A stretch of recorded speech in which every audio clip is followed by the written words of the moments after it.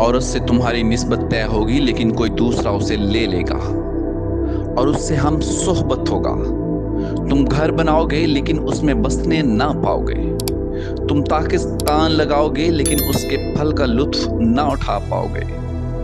तुम्हारा बैल तुम्हारी आँखों के सामने जबा किया जाएगा, लेकिन तुम उसका गोश्त खाने ना पाओगे। तुम्हारा गधा तुमसे ज़बरदस्ती छीन लिया जाएगा। और लुटाया ना जाएगा। तुम्हारी भेड़ें तुम्हारे दुश्मनों को दे दी जाएँगी और कोई उन्हें छुड़ा ना पाएगा। तुम्हारे बेटे और बेटियाँ दूसरी कौम को दिए जाएँगे और तुम्हारी आँखें दिन ब दिन उनका इंतज़ार करते करते थक जाएँगी, मगर तुम्हारा कुछ बस ना चलेगा।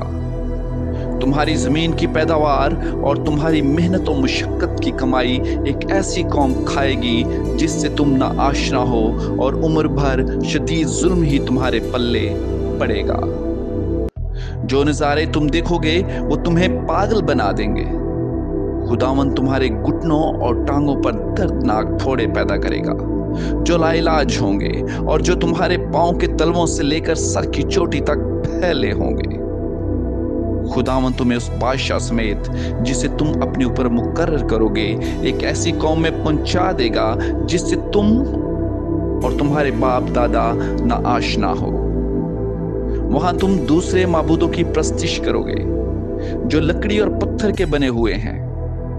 और उन सब कौमों में जहाँ खुदावन तुम्हें पहुंचाएगा, तुम लोगों के लिए एक जरबुल मिसल बन जाओगे और तजहीक और तहकीर का बायस बनोगे। तुम खेत में काफ़ी बीज डालोगे, लेकिन बहुत ही कम फ़सल काटोगे। क्योंकि टिड्डियाँ उसे खा जाएँगी, और उनमें काश्तकारी करोगे, लेकिन तुम ना मैं पियोगे और ना अंगूर जमा कर पाओगे, क्योंकि उन्हें कीड़े खा जाएँगे। तुम्हारे सारे मुल्क में जैतून के दरख्त लगे होंगे, लेकिन तुम तेल इस्तेमाल ना कर पाओगे, क्योंकि जैतून के फल झड़ जाएँगे। तुम्हारे यहाँ बेटे और बेटियाँ पैदा होंगी। लेकिन तुम उन्हें अपने पास रख ना पाओगे, क्योंकि वो असीर होकर चले जाएँगे।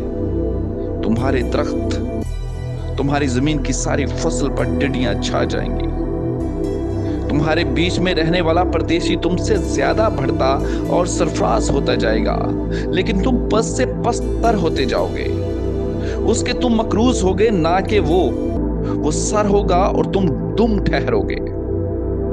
ये सब लानते तुम पर नाजिल होंगी। वो तुम्हारा ताकुब करेंगे और तुम्हें आ लेंगे। यहाँ तक कि तुम मर जाओगे। क्योंकि तुमने खुदावन अपने खुदा की अतायत नहीं की और उन अहकाम और आयन पर अमल नहीं किया जो उसने तुम्हें दिए थे। वो तुम्हारे लिए और तुम्हारी नस्ल के लिए हमेशा तक निशान और मुआवजा बनकर रहेंगे। चूँकि तुमने खुशहाली के अयाम में खुदावन अपने खुदा की खुशी और शादमानी के साथ खिदमत नहीं की। इसलिए तुम भूखे और प्यासे और उरियानी और गुर्बत की हालत में अपने दुश्मनों की खिदमत करोगे, जिन्हें खुदावन तुम्हारे खिलाफ भेजेगा। और जब तक तुम्हारा नामो निशान बाकी है, वो तुम्हारी गर्दन पर लोहे का जुआ रखेगा।